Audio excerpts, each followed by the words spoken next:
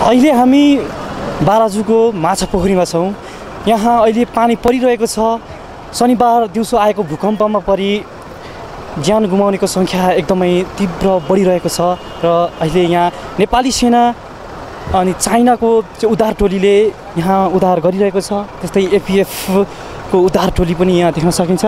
यहाँ यो दुईवटा घर भत्किँदाखेरि दुईवटा घर चाहिँ यो भूकम्पले ध्वस्त हुँदाखेरि यहाँभित्र धेरै लास हुन सक्ने आशंका गरिरह गरिएको छ।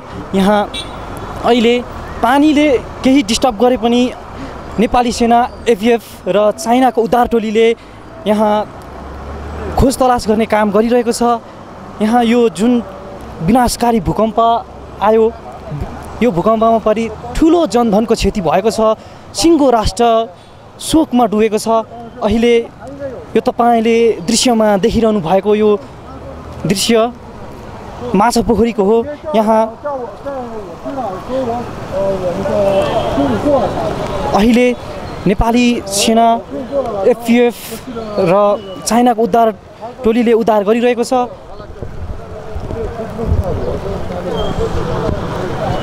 शनिबार दिउँसो सात दशमलव छ रेक्टर स्केलको भूकम्पले ठुलो सिङ्गो देशमा ठुलो जनधनको क्षति गरेको छ। भौतिक संरचनाहरू ध्वस्त भएका छन्। विभिन्न जिल्लाहरूमा घरहरू भत्किरहेका छन्। बाँस ग बाँस घाँस कपास विहीन भएका छन्।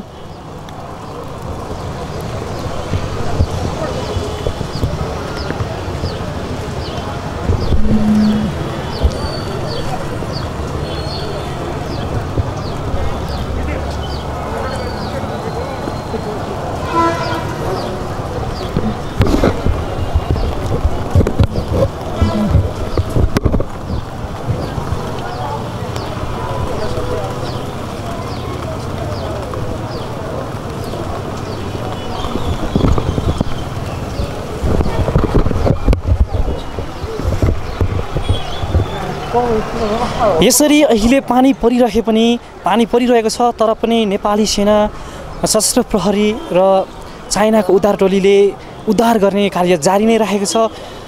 अहिले पानीले केही डिस्टर्ब र केही यसलाई उद्धार कार्यमा चाहिँ अलिकति समस्या आए पनि तर उद्धार कार्य जारी नै राखेको छ। भित्र धेरै धेरैको सङ्ख्यामा सप हुन सक्ने आश आशङ्काका साथ निरन्तर काम गरिरहेको छ र प्रयास गरिरहेका छन्। अहिले नेपालमा यस्तो भूकम्पमा पनि धेरै ठाउँहरूमा भौतिक संरचनाहरू ध्वस्त भएका छन् भने ठुलो जनधनको क्षति भएको छ। शनिबार दिउँसो आएको भूकम्पले यसरी भत्कायो माछा पोखरीको घर। अहिले यहाँ नेपाली सेना सशस्त्र प्रहरी र चाइनाको उद्धार टोलीले उद्धार गर्ने कार्य जारी नै राखेको छ। देशमा विभिन्न देशको विभिन्न ठाउँमा भएका घटना यो जुन भौतिक संरचनाहरू ध्वस्त भएका छन् यसबारेमा हामीले समाचार सम्प्रेषण गर्दै आइरहेका छौँ। विभिन्न ठाउँमा रहेर समाचारहरू र यसबारे तथ्य सत्य जानकारी गराउँदै आइरहेका छौँ। अहिले हामी माछा पोखरीमा रहेको यो भवन भत्किँदाखेरि यहाँभित्र धेरै मान्छेको मृत्यु भएको छ निधन भएको छ।